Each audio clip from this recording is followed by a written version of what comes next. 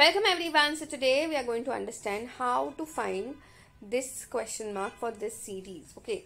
Here see there is a very big hint. If you see when you do this 15 sorry we had 5 and 18 so we can write this as what 5 multiplied by 3 plus 3 and this can be written as what 1 multiplied by 2 plus 3 so technically this should be what 18 multiplied by 4 plus 3 because the number with which you are multiplying is getting added every time. So 18 multiplied by 4 is 72 plus 3 gets you 75. So this question is supposed to be 75 multiplied by 5 plus 3.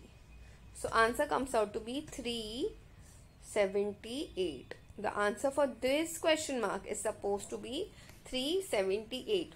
See, whenever you have something like this, you need to pick something which is very, very easy to find out. This was the easiest and from this I got my logic, which thankfully got settled for the rest of the questions. I hope this is very, very clear to everyone.